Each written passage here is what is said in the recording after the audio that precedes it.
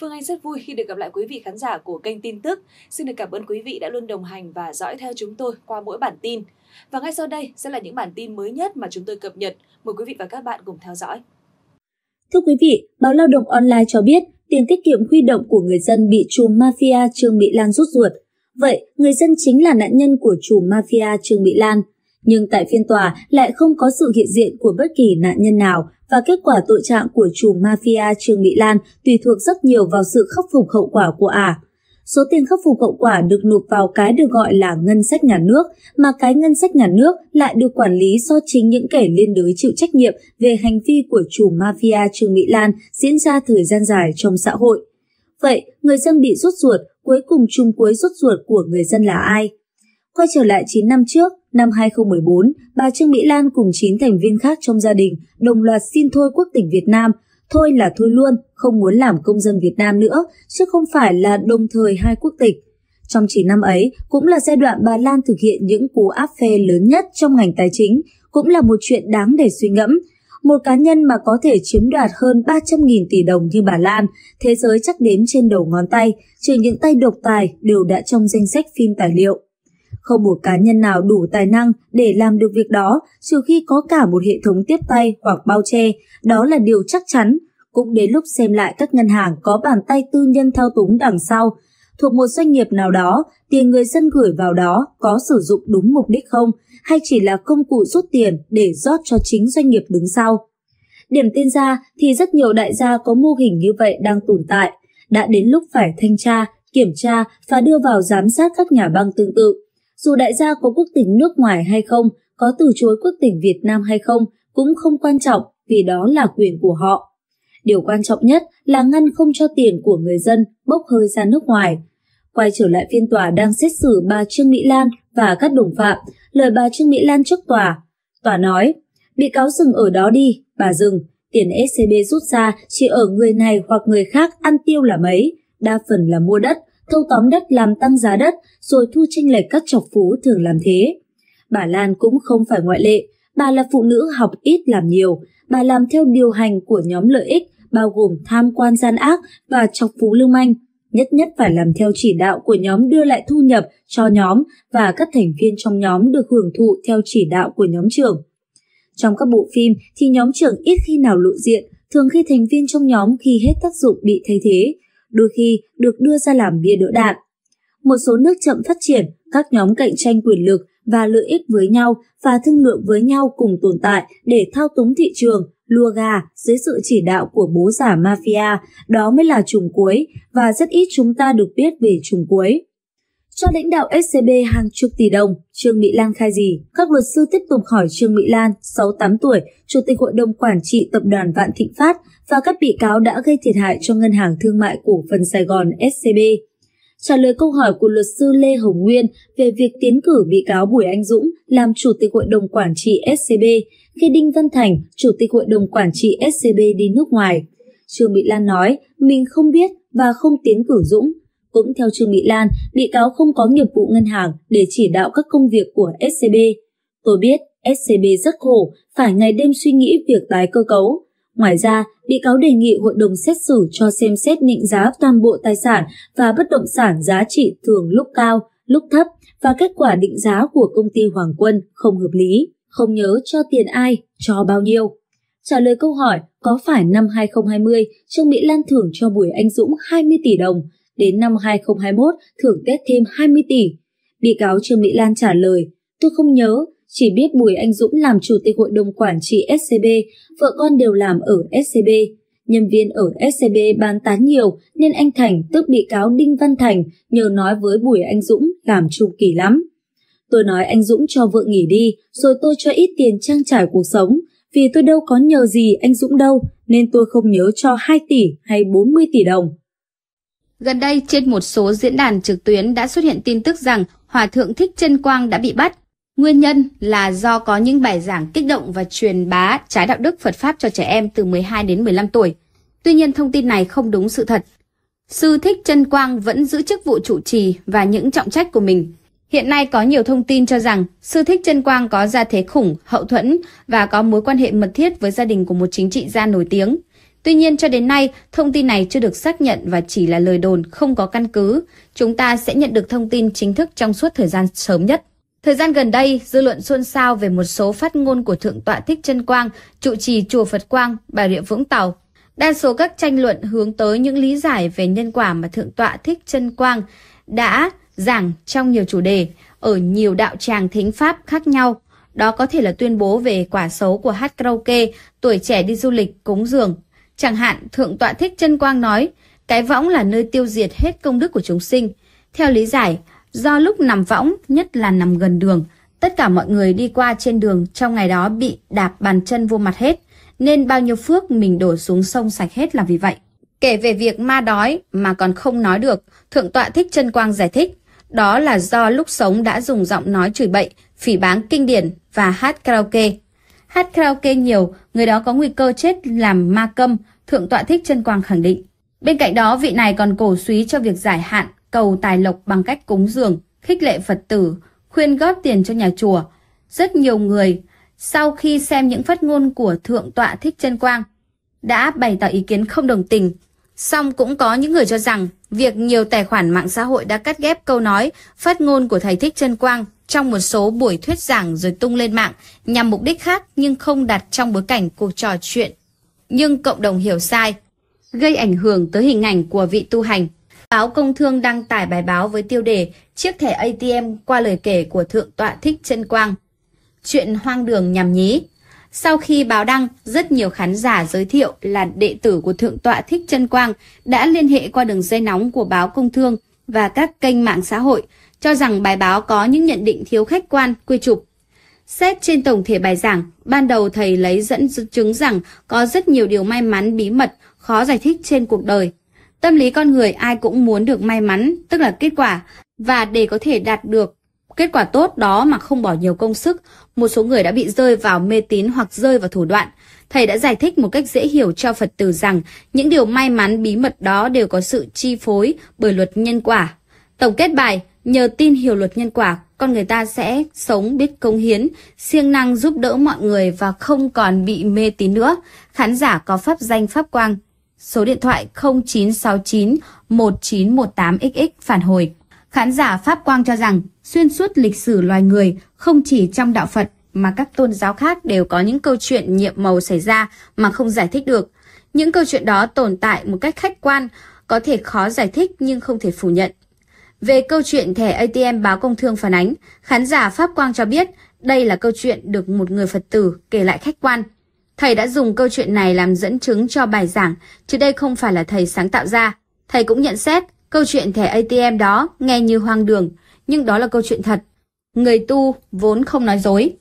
Trước đó thầy cũng lấy thêm những câu chuyện kỳ lạ khác như người khỏi bệnh ung thư, người thoát khỏi bệnh điên.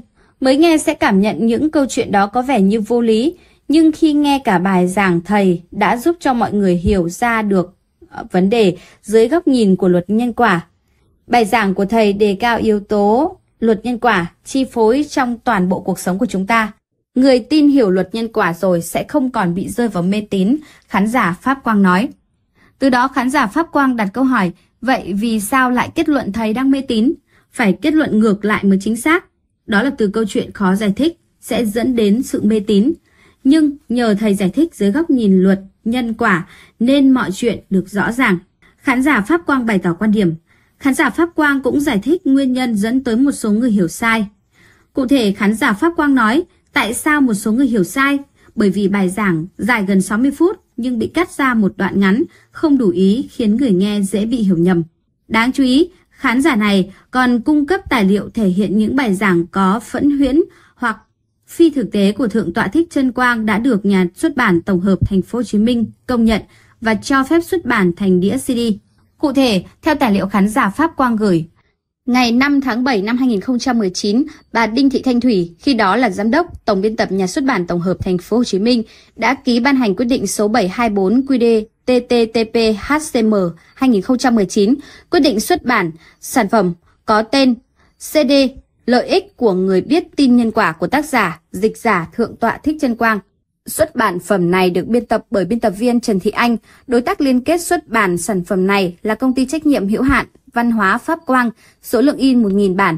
mã số sách tiêu chuẩn quốc tế ISBN 978-604 5895108. Sáng nay, phóng viên báo Công Thương đã liên hệ qua phòng tổ chức hành chính, nhà xuất bản tổng hợp thành phố Hồ Chí Minh để trao đổi, làm rõ nội dung này. Cán bộ trực điện thoại cho biết sẽ báo cáo trao đổi với các bộ phận có liên quan và phản hồi lại sau. Ngoài vấn đề gia thế, nhiều người cũng quan tâm đến sư thích chân quang khi thầy còn trẻ. Thầy đã chia sẻ về quá trình tuyển chọn tu tập từ khi tuổi đời còn rất trẻ. Điều này khiến nhiều thế hệ đệ tử kính trọng vị sư phụ ưu tú. Theo nhiều Phật tử chia sẻ, Sư Thích Trân Quang đã thuyết giảng hơn 2.000 bài giảng khác nhau về nhiều chủ đề liên quan đến văn hóa, giáo dục, đạo đức, khoa học, công nghệ và y học. Thầy đã truyền bá triết lý Phật giáo cho hàng nghìn Phật tử trong và ngoài nước và được nhiều người kính trọng yêu mến. Sư Thích Trân Quang là tác giả của nhiều cuốn sách về Phật giáo như Phật giáo trong cuộc sống, Phật giáo và khoa học hiện đại, Phật giáo và y học cổ truyền, Phật giáo và tâm lý học. Sách của thầy không chỉ là kiến thức sâu sắc về Phật giáo mà còn kết hợp với kiến thức hiện đại, giúp người đọc có cái nhìn toàn diện và thực tiễn về Phật giáo. Nóng, Công an thành phố Hà Nội đề nghị ngừng giao dịch 77 lô đất tại quận Hà Đông, sai phạm về bồi thường tái định cư.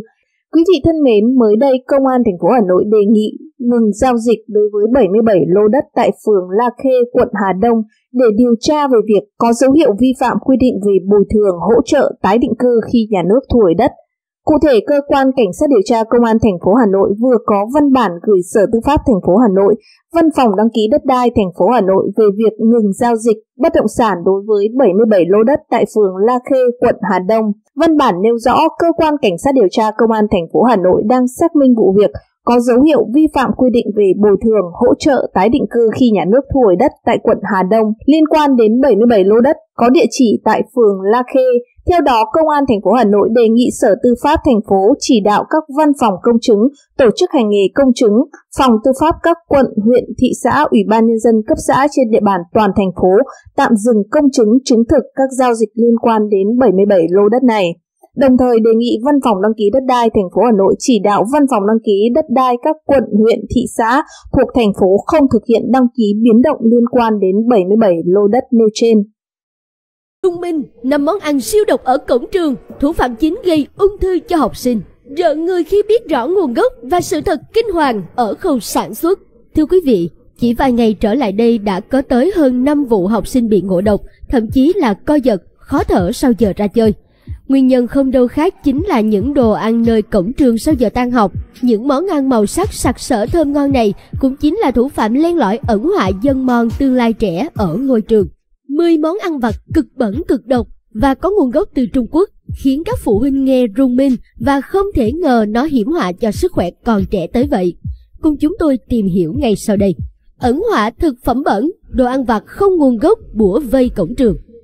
Thời gian qua, có không ít vụ học sinh bị ngộ độc bởi thực phẩm bẩn trôi nổi, không nguồn gốc, quy trình chế biến. Công đoạn thực hành hoàn toàn bằng tay trần, dễ nhận thấy nhiều quán ăn mọc lên quanh khu vực cổng các trường học. Dù đã được đề cập nhiều, nhưng hiện nay, vấn đề đáng lo ngại này vẫn tiếp diễn, gây ảnh hưởng đến sức khỏe của nhiều người, đặc biệt là học sinh.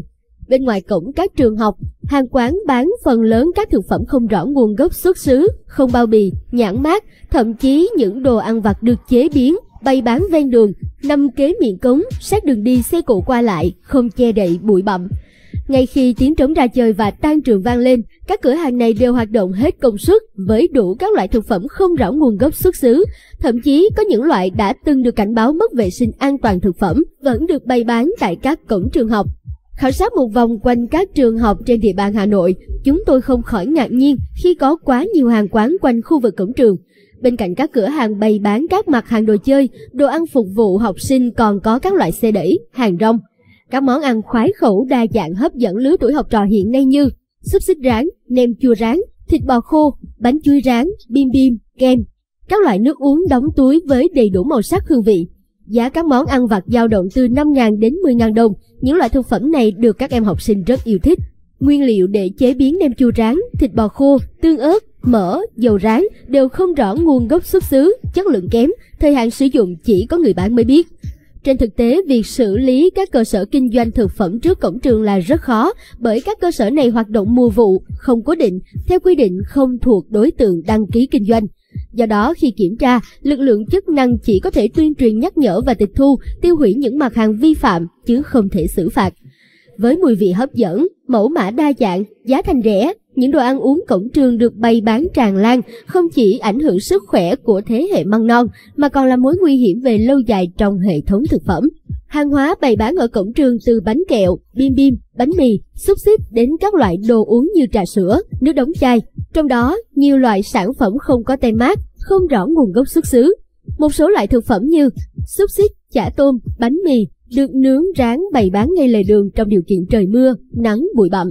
Nhận biết được nguy cơ mất an toàn vệ sinh thực phẩm, một số cha mẹ học sinh kiên quyết không cho con mua đồ ăn trước cổng trường.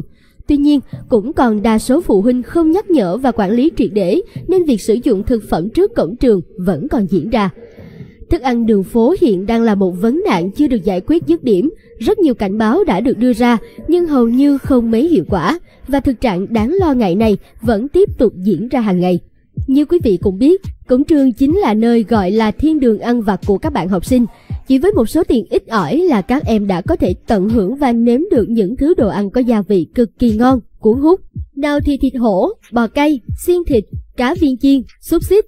Tuy nhiên, đây chưa phải là những thứ độc nhất khi quý vị biết về năm món tưởng chừng như ngon bổ rẻ, màu sắc sặc sỡ, thơm nức mũi, ẩn chứa đằng sau lại là sự thật chất lượng đáng sợ. một Bánh tráng trộn Bánh tráng trộn là cái tên chưa bao giờ hết hot, chính vì thế nó sẽ được cao cao tại vị ở ngôi vua trong danh sách ngày hôm nay. Đây chính là thứ đồ ăn vặt vô cùng nguy hiểm mà nhiều người chưa bao giờ nghĩ đến. Với hương vị chua cay được tạo ra từ nhiều thứ nguyên liệu hòa quyện với nhau. Chính là loại đồ ăn vặt thơm ngon bắt lưỡi khiến không ít người mê mệt. Vì cái sự hấp dẫn này, bánh tráng trộn được bán với giá rất là phổ thông. Nhiều bạn có thể mua được cả một ủ bánh tráng ngoài vỉa hè và ăn tê lưỡi luôn. Thế nhưng các bạn có biết không, đằng sau cái sự phê pha này là những mối nguy hại đang dang rộng vòng tay đón chờ các bạn ở một ngày không xa. Và trên thực tế thì nhiều người đã vì chút lợi nhuận mà sẵn sàng dùng các nguyên liệu rẻ tiền, không rõ nguồn gốc, thậm chí là thực phẩm thừa để chế biến.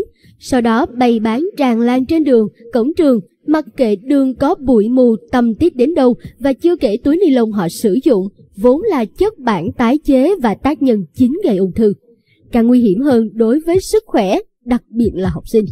Tuy nhiên, cũng có một số chỗ họ bán có tâm và sạch sẽ. 2. Bò cay Chỉ 3.000 Việt Nam đồng là sẽ được trải nghiệm cảm giác tê tái đầu lưỡi. Đây là những gì người ta nghĩ đến khi nhắc đến món bò cay. Mặc dù có vị cay nồng như thế, nhưng loại đồ ăn này lại rất hợp gu và với túi tiền học sinh. Chỉ với vài nghìn đồng là các bạn trẻ đã mua được hẳn một gói với rất nhiều miếng bò sặc sỡ bên trong ăn rất lạ miệng. Ăn vào cũng phải gọi là cuốn không thể tả. Chính vì thế, bò cay cũng được bán nhan nhản ở lề đường cổng trường học. Tuy nhiên, thử nghĩ một miếng bò thật thì làm sao có cái giá vài ba nghìn đồng, chắc chắn đây chỉ có thể là bò giả. Nhìn bằng mắt thường, cái miếng thịt bò được tẩm ướp phẩm màu gia vị nông nặc, nhớp nháp mùi dầu mỡ. Rất nhiều thông tin đã được đưa ra kiểm chứng cho việc món bò này bán ngoài cổng trường không hề an toàn. Tuy vậy, sản phẩm này vẫn được bày bán công khai và trẻ em vẫn ăn âm âm bị lôi cuốn. Đáng nói, những sản phẩm này toàn bao bì nước ngoài và không có nguồn gốc xuất xứ. 3. Thịt hổ Với 2.000 đồng mà ngon không cưỡng, dai dai, ngậy ngậy thơm ngon, hương vị cứ gọi là đỉnh của chóp. Thế nhưng sự thật rung minh khi tìm hiểu mới ngã ngửa, phát hiện ra sự thật kinh hoàng phía sau. Bao bì này nhãn mát toàn bằng Trung Quốc, chữ thì in mờ nhạt, không có bất kỳ nhãn phụ tiếng Việt nào cả. Không có cả ngày sản xuất và cũng chả có ngày sử dụng. Thậm chí nguồn gốc xuất xứ cũng không có, thì thịt bên trong có phải thịt hổ là thật hay không? Sự thật là thịt bên trong chỉ toàn là đồ bẩn đã bỏ đi, được tẩm ướp bằng hóa chất độc hại. Nhưng khi bỏ vào các bao bì sặc sỡ sẽ phù phép biến thành món ngon thượng hạng cho giới học sinh. 4. Đồ chiên ở cổng trường Thật không khó để bắt gặp những quán đồ ăn vỉa hè với thực đơn hấp dẫn được bày la liệt ra ở rìa đường, cổng trường, với hiểm họa ẩn chứa âm âm nhưng không kể học sinh hay phụ huynh đều ăn một cách ngon lành. Tuy nhiên, bạn có biết không, chính những điều này lại dẫn đến hậu quả khôn lường và nguy cơ gây ung thư với tỷ lệ rất cao. Xúc xích, cá viên chiên, bò viên thường được rán ngập trong các loại dầu được chiên đi chiên lại nhiều lần, vì thế nó là thủ phạm chính gây nhiều bệnh nguy hiểm cho cơ thể. Ví dụ như ung thư dạ dày, đại tràng và tiểu đường hay tim mạch nữa. Bên cạnh đó, những thứ đồ viên chiên giá cực rẻ chỉ từ 5 đến 10 nghìn khiến ai cũng phải đặt câu hỏi về nguồn gốc xuất xứ của chúng. Liệu thành phần của những viên này có phải được làm từ các loại cá sạch, bò chính hiệu hay chỉ là những thực phẩm kém chất lượng? Ương đã bốc mùi rồi bỏ vào chất tạo hương vị là có như hàng thật. Đây là món ưa thích của mọi học sinh và người lớn nên hãy cân nhắc khi sử dụng ngay từ đây. 5. Bim bim những loại bim bim được sản xuất, đóng gói với nguồn gốc xuất xứ rõ ràng thì mình không nói làm gì. Những cái thứ mà mình muốn nhắc đến ở đây đó là rất nhiều trẻ em ưa chuộng với giá cực rẻ. Ngoài kia những cái lô mà được bỏ thùng đóng bóng to đùng mà không ai biết rõ nguồn gốc xuất xứ ở đâu, không tem mát, không hạn sử dụng. Những được người bán chia nhỏ thành gói và bán lẻ với giá chỉ từ 1.000 cho đến 3.000 đồng với hương vị cay cay dễ ăn. Mặt hàng này được bày bán rất chạy ngoài cổng trường mà các học sinh đã vô tư không hề hay biết mình đang vô tình rước bệnh vào người. Đã từng có khoảng thời gian báo đài rầm rộ đưa tin cơ sở sản xuất bim bim từ nhiên liệu Trung Quốc đã gây kinh hoàng cho rất nhiều bậc phụ huynh và chưa kể trong bim bim có chứa một lượng dầu ăn khá là lớn. Nếu ăn quá nhiều sẽ gây hại đến thận này, tim mạch và huyết áp. Chính vì thế, đây cũng là loại đồ ăn vặt cần phải dè chừng và thật cẩn thận.